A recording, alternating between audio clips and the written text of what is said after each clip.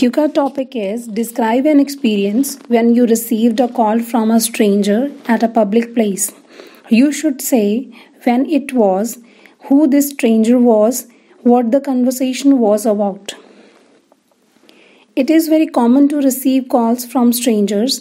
Most of the time, we receive promotion calls from different companies, but here I would like to share an experience when I received a fraudulent call. Actually, I was sitting in a restaurant with, um, with my friends, enjoying a meal, and during that time, I received a call from Mr. Sharma saying that he is calling from my bank and he needs to know about my bank account details. I was very busy with my friends and told him that I would call you back later. But he said that it is very urgent that somebody is trying to hack my bank account. To hear that, I got little, little worried. He requested me to share my personal bank details along with PIN code that was little strange for me.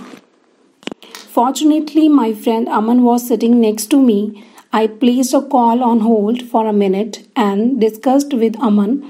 He warned me that it is a fake call because these days people are getting these kind of calls.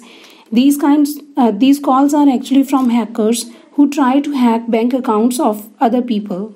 Then I asked few questions to Mr. Sharma and he instantly disconnected the call. That made me 100% sure that it was a fake call.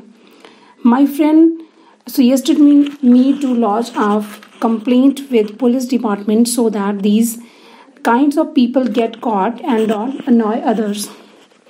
I was very thankful to Aman for saving me that day by sharing very important information with me.